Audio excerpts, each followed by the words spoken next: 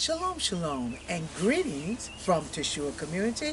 I'm Eyma RafaeYAH, and I'm back with you on a video to show you our raised beds and the work that Rayak has been doing and the planting that he's been doing in the past few weeks.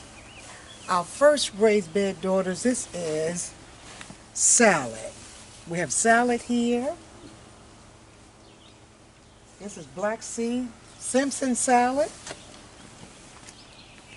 What is this here? What is this? Lemon balm. This is lemon balm. We usually make uh, tea out of lemon balm. What do we have over here? Basil. We have basil. We have tomato plants.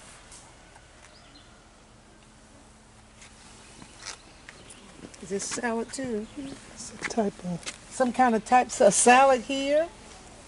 We have collards. This is fennel. Is this fennel or parsley? that's. This is dill. We have dill. Oh, did you look over here? The seeds we have things he has planted in the tra trays over there. And in those blue barrels are tomato plants.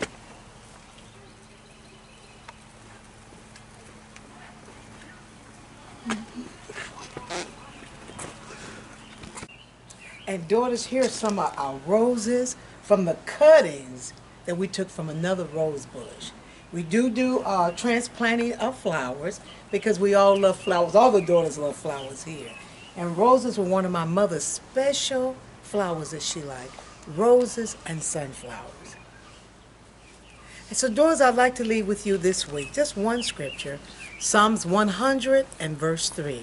For Yahweh is the mighty one. It is Yahweh that has created us. We are his people, the sheep of his pasture. Stay encouraged. Have the same mind that Yahshua has. Let that be in you. Strive every day for excellence. Hallelujah.